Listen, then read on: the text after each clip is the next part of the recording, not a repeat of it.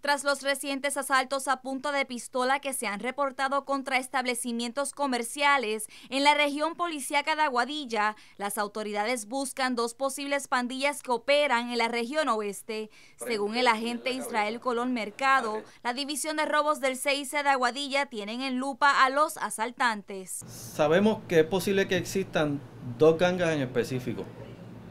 Eh, estamos tratando de identificarlas, aún continuamos con dichas investigaciones. En lo que va de año, según la policía, se han reportado 10 robos menos que el año pasado en la región policíaca de Aguadilla. El más reciente incidente ocurrió el sábado en el negocio Vista El Salto, ubicado en la carretera 403 del municipio de Aguada.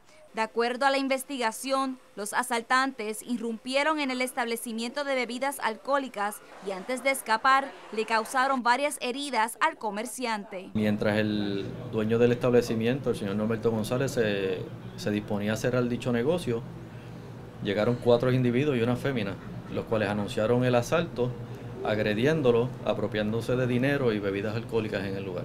La esposa del dueño del negocio se negó a emitir expresiones ante las cámaras. No obstante, señaló que aquella madrugada, en momentos en que su esposo se disponía a cerrar la puerta del local, ella se percató que una guagua blanca estaba estacionada de frente al establecimiento, lo que le pareció sospechoso.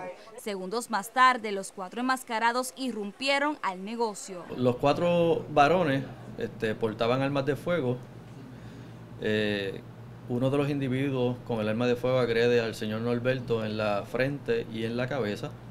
Al resto del personal, este, a otro caballero lo agreden en la cabeza también. La señora la tiran al suelo y continúan con el robo al comercio. Al marcharse del lugar, los sujetos hicieron una detonación con una de las armas que portaban, ocupándose en la escena un casquillo calibre 380. Para Noticias Boledo se les informaron Frankie González y Maylin Andújar.